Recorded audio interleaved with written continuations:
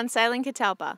We surf Doers and Lee finally gets our starter motor out and gets it going. Nembrela is visited by tourists mostly for its world-class surf breaks. We arrived in November and by December most of the resorts and restaurants are closed until the end of the wet season, which is around April. The plus side to this was the surf was never crowded.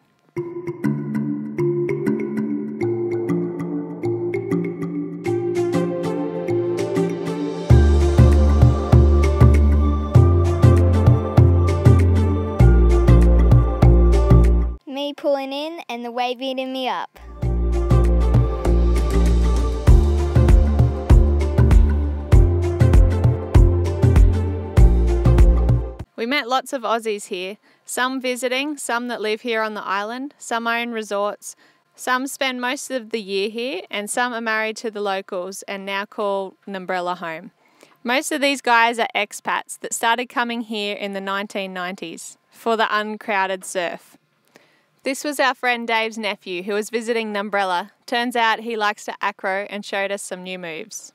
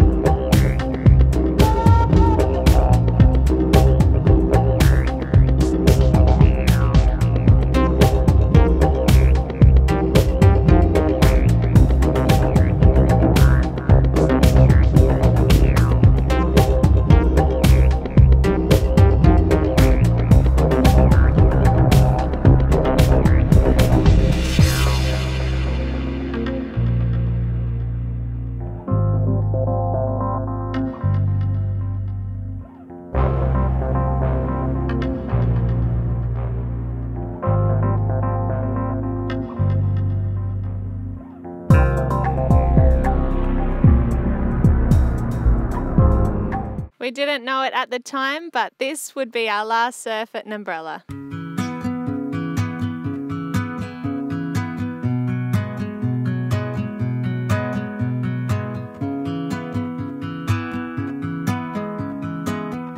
Here's Dad getting some nice ones. You. when you hang your head when you're feeling blue or sad.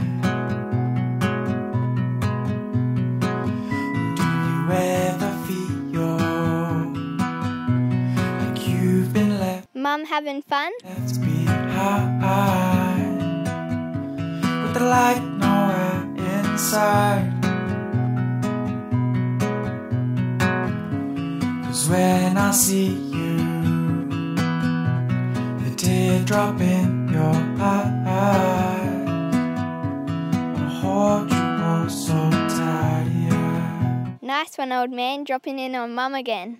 Nah, Mum loves it. They actually love surfing together. It's like they're big kids and they never want to leave. Yeah. And when you're feeling worthless, you better believe it. My friend, I understand. Just having a little look here at BOM. Some massive storms around us at the moment. We've got one, two, three, four low pressure systems all around where we are here. So, and there's actually another one below here. It's not shown on this one, but yeah, it's it's it's really not real stable at the moment. We're thinking about doing a bolt. We do have a little safe zone, but we're still in the process of sourcing this starter. So We just want to stay here with the phone reception and internet until we get it one on the way. we're only sort of probably six hours away from a hidey hole, which has pretty much 360 degrees protection. So really tucked away. So as long as we can get everything sorted, we're going to head there. This is the one we're concerned about here that's building. We're located. We're located just down here, but it's, it's, it's going to move down this way apparently. But we're not right in the run of it, but you just never know what they do. Yep, yep. Lee's just on the phone with um, the guy that's sourcing our starter motor. All right, I'll have another chat to Sarah. Yeah, it was just like it was up there in our budget. That was all. It was um, just a lot of money. Alright, so we've got a bit of an update with our starter motor. It's been, how long has it been? About five days since we've been trying to get something going. Lee got the starter motor going again, and um, he's just shining up some brushes on there or something. So it, It's not ideal, but I've got a big cyclone sitting out there lingering around, so I'm a bit nervous. So I'm just gonna get this a little tidy up so we can definitely start. And I think we'll move on probably um, this afternoon or tomorrow morning, just to keep a real close eye on this cyclone. at the moment it's in Indonesian waters, and they're predicting it's going to Australia off WA.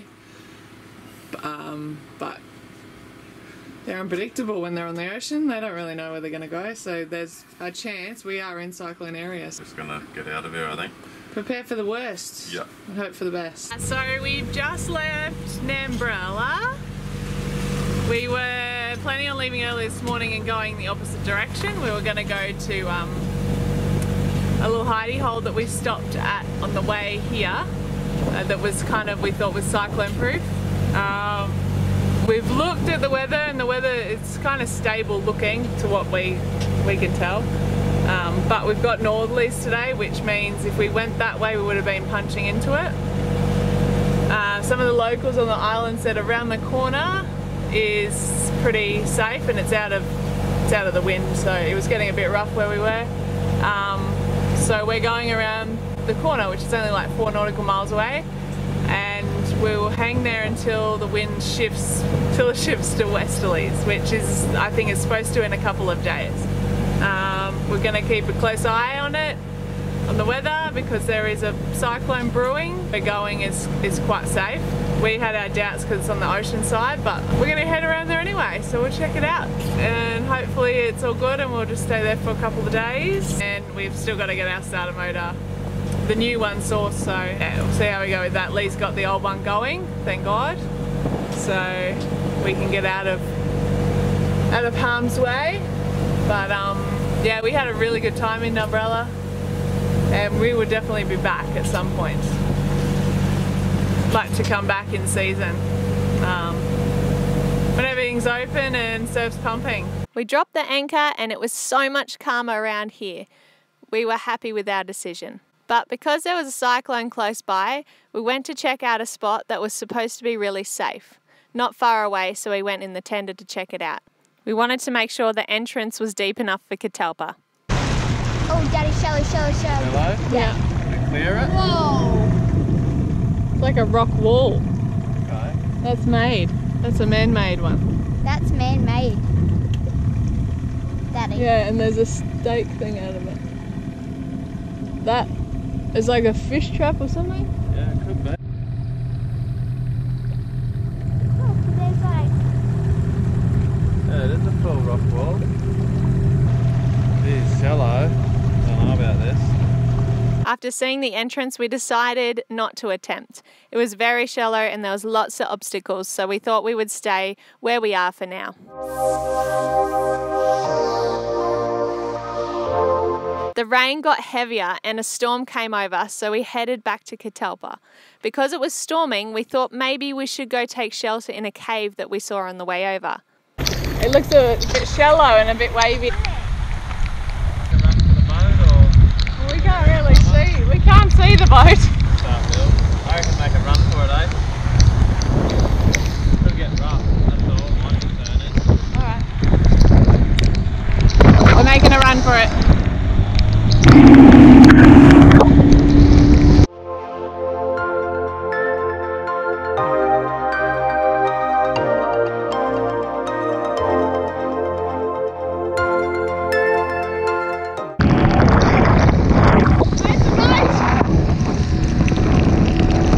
10 minutes of not being able to see where we were going, yeah, we're pretty much lost.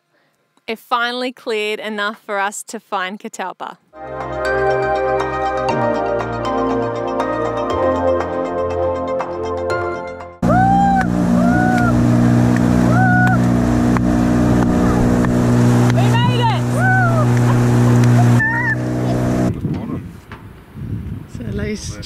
To get some squid. We've seen some squid in the water. They're only little ones we've seen, but he thinks he might have spotted some bigger ones. So he's having a squid jig.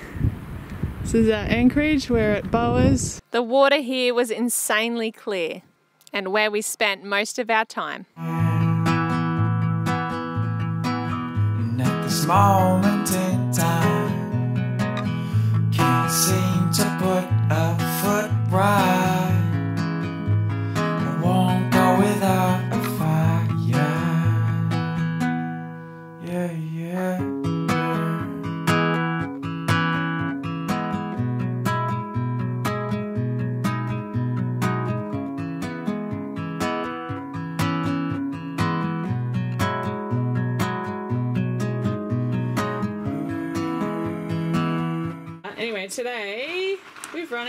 Fish, we've run out of a lot of things, and we haven't managed to catch any recently. So, um, what I'm going to use today is some beef mince that my beautiful stepmother dried for us. Uh, I've never used it before, and I'm not really sure what to do, but I'm going to have a go. I'm pretty much just going to cook it in some water, so maybe fry up some garlic and put the meat in there in some oil and then put some diced tomatoes, canned tomatoes in there and let it simmer and soak all the goodness in and hopefully it'll be nice and yummy.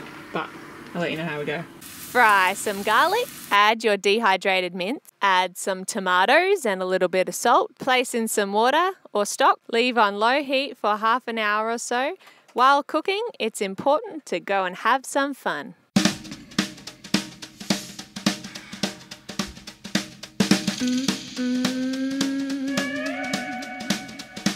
Voila! Spaghetti bolognese from dehydrated mince. It was delicious. Thanks, Mummy. So we've just woke up, Lee went outside and um, just got really excited, started yelling out, Sweetie, grab the bucket! There's heaps of squid around the boat, so Lee had no luck today, but I'm sure he won't stop trying. Like I said, most of our time here was spent in the water.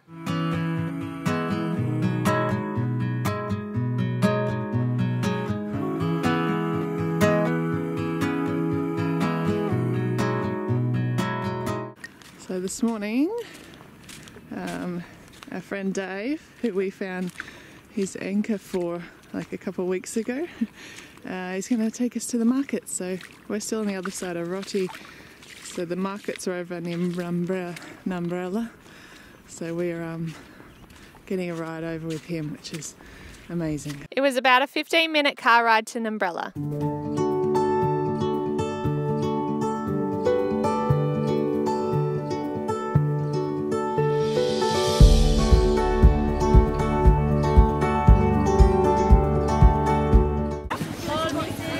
Want some water? No, I'm good, thanks, buddy. What are you getting there, sweetheart?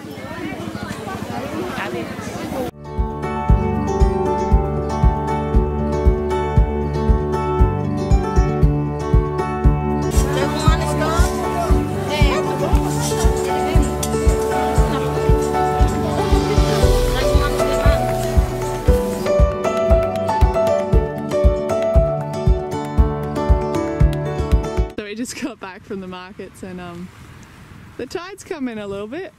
Our tender's out here. So uh, I have been given the job to swim out. So Oh, look, it's only a couple hundred metres, you'll be right.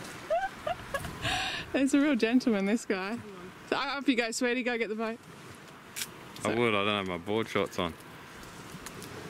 Uh, pretty sure you do.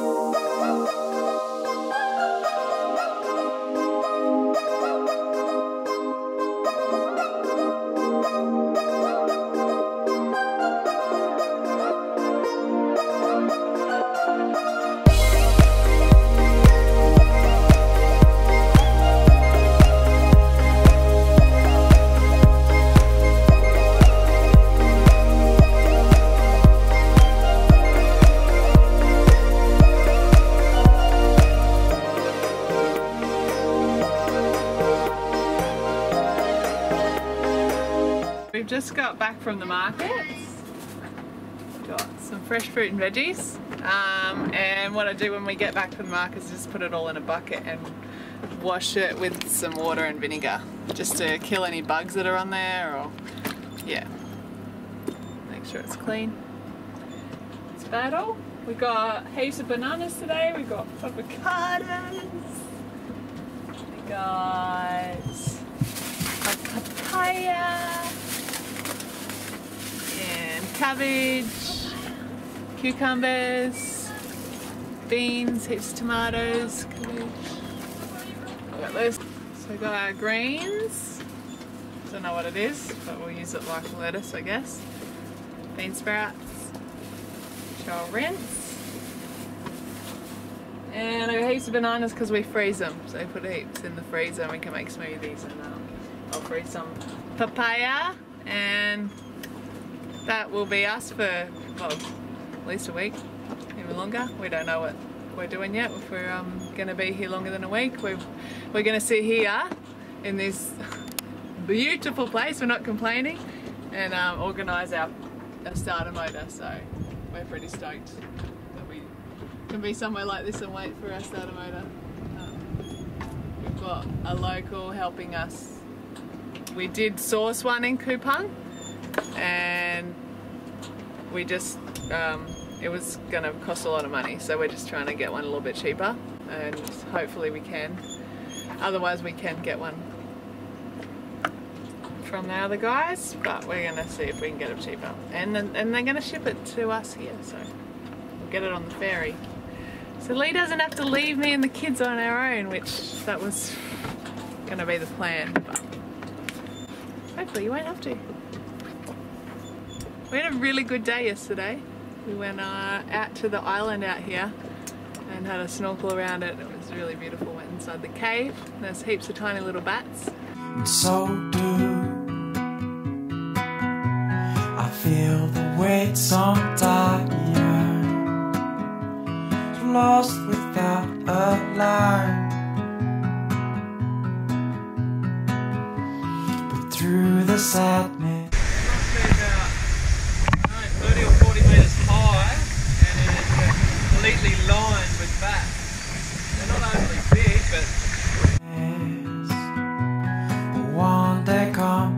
smile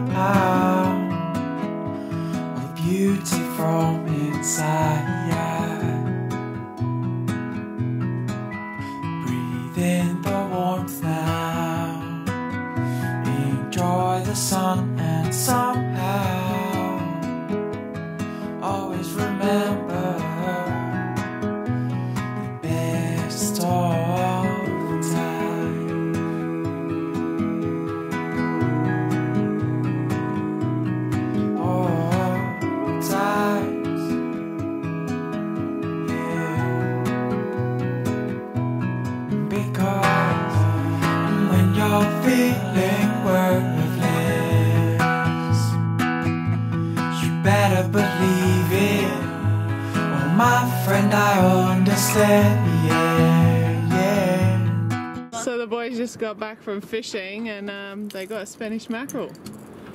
Yeah? and Woohoo! Did it! uh, So it's a beautiful sunset. I was just looking at it. Half the water is orange, and half is um, not getting this the reflection of the sun. So it's, we're totally rolling with this swell that's coming in.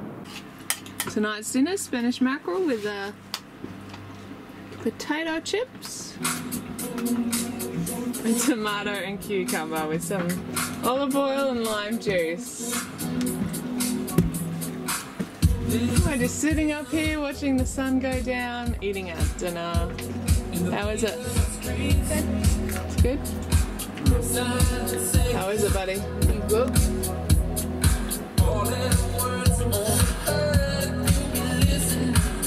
We've got starter motor update.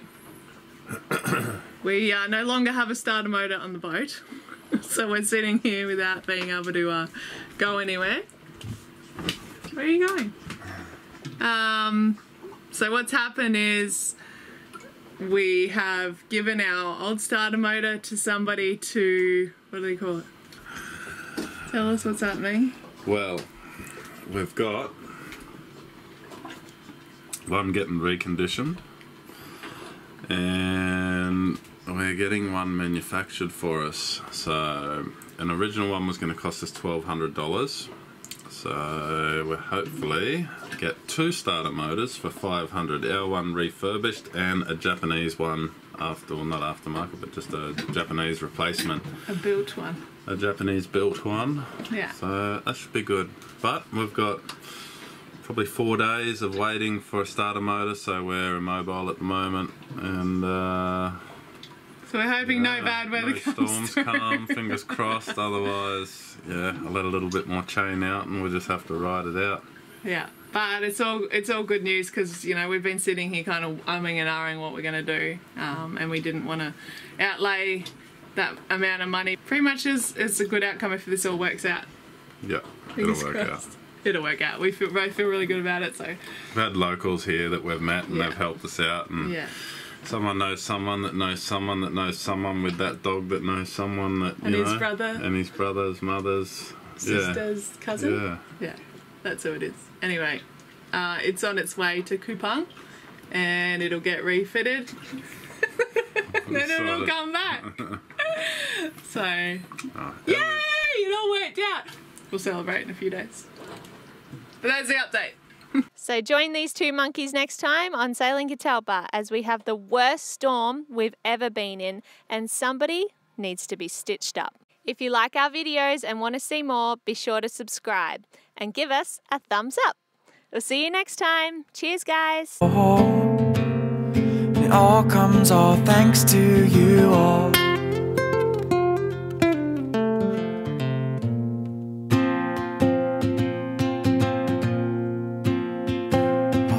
Thanks to y'all.